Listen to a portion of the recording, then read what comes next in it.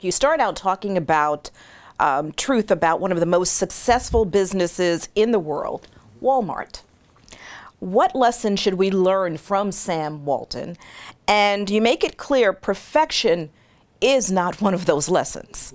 So, so Sam Walton, he knew he wanted to work for himself, but he did it the way a vast majority of all people learn entrepreneurship. He started with a franchise.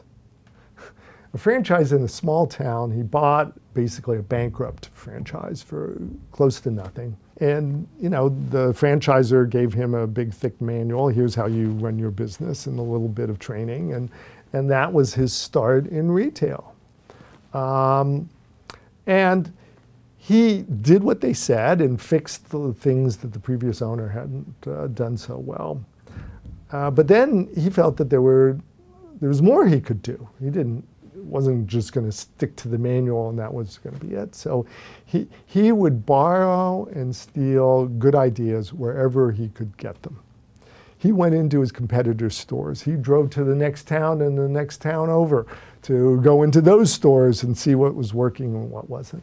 And every week he would try something new or several new things. And those that worked out, he'd keep doing, and those that didn't, he wouldn't.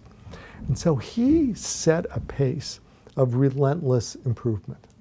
Every week, a little bit better. And you know what? When you improve things week by week, they accumulate. And so he was able to open more franchise stores. And it wasn't until 17 years later that he decided to, he knew so much that he was confident he could go out on his own.